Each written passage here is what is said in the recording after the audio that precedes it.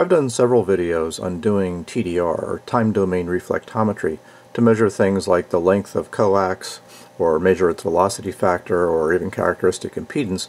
And I used uh, little pulse generators, either you know a signal generator like this guy over here, or uh, these little homebrew fast edge pulse generators like this one I made here, or this little circuit board from my friend uh, EA5 IGC. And along with your digital scope, you can get a plot like this and use that to determine you know, these various parameters. But it turns out you can actually do that with just the scope without using any of these circuits, and it's really simple. Let's uh, take a look at how. Now here's our super simple TDR setup. Uh, you've got a digital scope, and a, simply a 9 volt battery, maybe a couple of clip leads, and a resistor, 50 ohms, 100 ohms, uh, value is not terribly important, you just want it to be relatively close to the impedance of the line you're trying to measure a little T to connect uh, to uh, your little 9 volt battery and then to the unknown length of line that you want to measure. And the simple idea is set up the scope to be either in single shot or normal trigger and uh, adjust the trigger level so that it's up, up above the baseline and simply touch the end of the resistor to the 9 volt battery. That creates a step voltage change which then propagates down the line, reflects off the end, and then comes back and you can actually see the injection to the line and the uh, reflection coming back and use that to measure your parameters. Now the basic setup for the scope is uh, your DC coupling, the input, uh, and if you're using a 9 volt battery, 1 or 2 volts uh, per division so that uh, your full 9 volts will appear on screen. And then uh, set the position down near the bottom so that you start off down here at ground and then your 9 volts kind of goes up that way.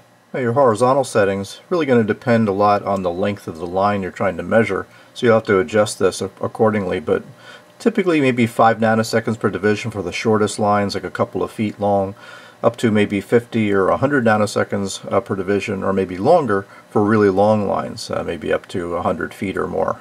Uh, and then the trigger position, you want to set that near 10%, meaning kind of close to the you know, left edge of the display so you can see the waveform play out towards the end.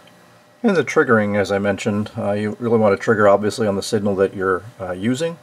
Uh, DC coupled, rising edge, about a 2 volt threshold, and then again the normal or single mode so that you only get a trace when the uh, signal actually transitions.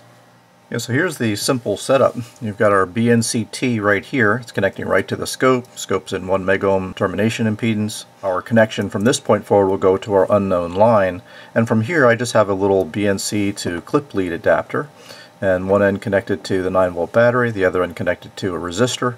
And we're simply going to make connection like that and generate our waveforms. And so I've got uh, some coax connected at the far end of my BNCT here and all I need to do is hit it. And of course if I hit it a couple of times I can get kind of all messed up here. So the idea is in normal trigger mode just do it until you get a nice clean waveform. Once we've got that clean waveform we can count divisions if you don't have cursors on your scope. Or if you've got cursors you can actually position those cursors so that they're about on the same point of the waveform you know on the initial step and on the reflected step. And once you've got that you can then measure the delta t in this case my delta t is 47.8 nanoseconds. That's the delta between those two cursors. once you've got that delta t, we can then go ahead and compute uh, the length of that line. And uh, so we start off by, we need to know the speed of light, and for measuring the length of line, it's usually helpful to express it in either feet or meters, depending on your preference.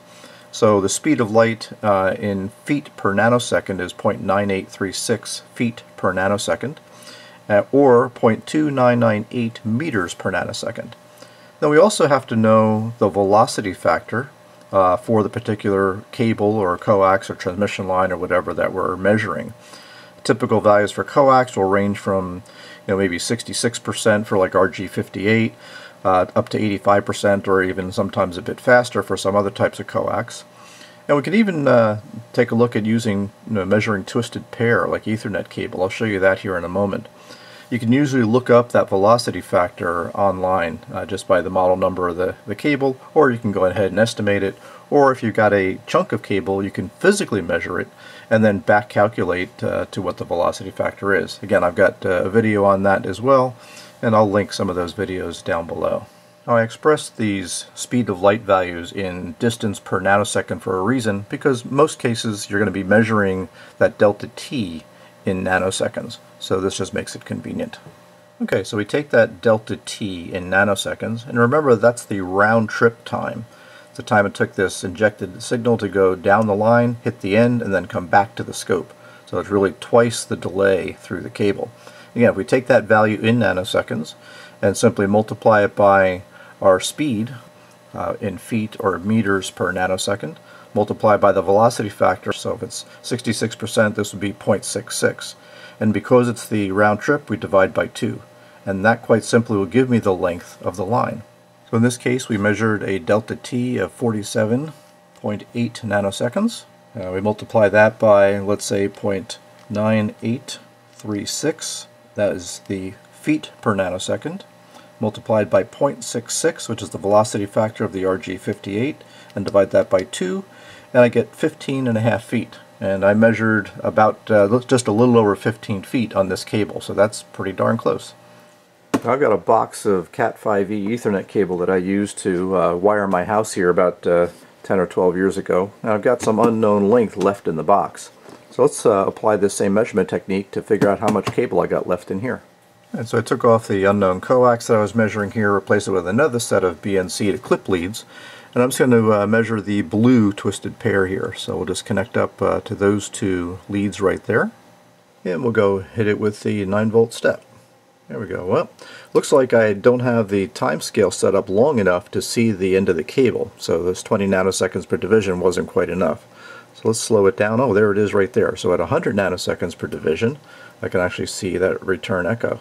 Alright, so let's move our second cursor here to be on the, uh, just on that where that echo returns back. And we can see our delta T, 265.8 nanoseconds.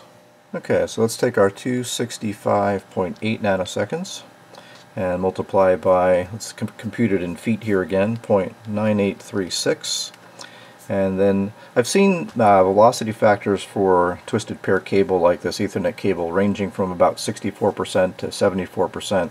So let's go midway between those two at 0.69 or 69% and then divide by 2. And that tells me I've got just a little over 90 feet of this Cat5e cable left. Now it turns out this cable actually has every couple of feet the remaining uh, distance left in it and we can see from this end I've got uh, 90 feet from this point back into the box, so just a little over 90 feet of cable. Now one more fun experiment, and I wasn't sure this was going to work until I tried it. Uh, this is just a, an old spool of heavy-duty speaker wire or just typical zip cord. And I thought that uh, because this was all neatly wound that it'd get too much coupling from line to line for this to work, but it turns out it actually works. Let's go take a look. And let's go uh, trigger it and catch, catch a sweep. Now it looks like I need to speed the scope up a little bit to get better resolution here. Let's grab another one. And let's position our cursors here kind of on the about the 10% of that rising edge and let's go grab the other edge here. And we can see my delta T is about 62.6 nanoseconds.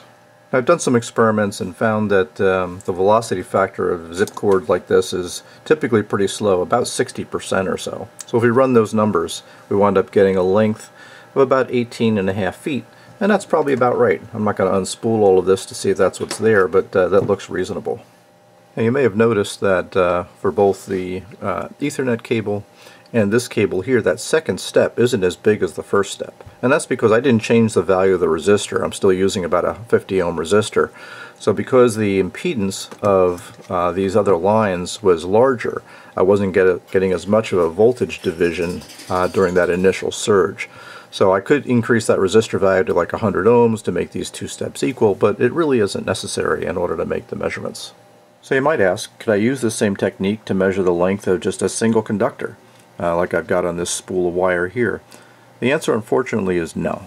In order for this technique to work, we need to essentially have a pair of conductors, not a single conductor and that pair of conductors needs to have a pretty constant physical relationship to establish kind of a constant distributed inductance and capacitance leading to a relatively constant impedance.